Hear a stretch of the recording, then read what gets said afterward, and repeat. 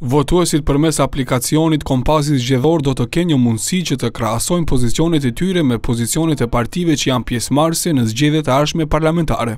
Kompasi përllogarit pozicionin e partive politike, i pozicionon ato në skenat politike dhe i zbaton referencat politike të qytetarëve me politikat zyrtare të partive. Nga sot kjo aplikacion është online edhe për qytetarët që në formë të përgjigjeve të tyre të krahasojnë qëndrimet e tyre me atë që janë përgjigjur partitë politike. Aplikacioni do të jetë i hapur, domethënë, nga sot deri në përfundimin e ditës së zgjedhjeve, respektivisht deri në 11 dhjetor.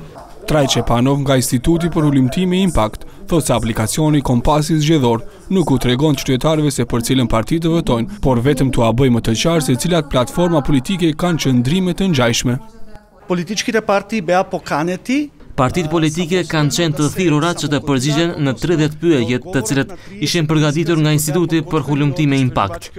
Kodimi i pyetjeve në këtë aplikacion nuk janë bazuar vetëm në përgjigjet e marra nga pyetësori, por partitë politike kanë qenë të detyruara të dorëzojnë dëshmi, përkatësisht citate nga programet e tyre politike, platformat ideologjike apo deklarata nga përfaqësues të tyre.